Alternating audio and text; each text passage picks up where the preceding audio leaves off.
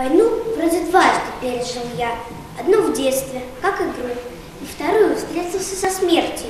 Не в игре, а наяву.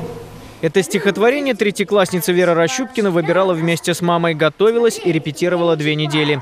В стихотворении рассказ о детстве человека, который впоследствии воевал на фронтах Великой Отечественной войны. Эти строчки Вера прочитала на ляпинских чтениях, посвященных памяти профессора, писателя, труженицы тыла Галины Ляпиной. Не очень такое и грустное, и не веселое, как раз для конкурса. О том, как человек пережил войну.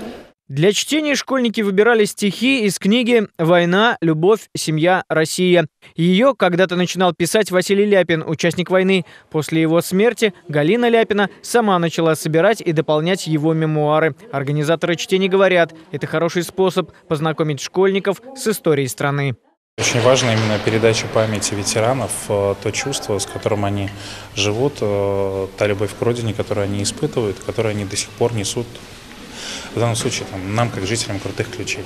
В книге в этой тоже описано э, подвиг их, их родителей, подвиг нашего советского народа, как мы сражались, как мы победили в этой трудной войне. Чтения обязательно станут традицией, обещают организаторы. Сергей Кизоркин, Семен Безгинов, Максим Гусев. События.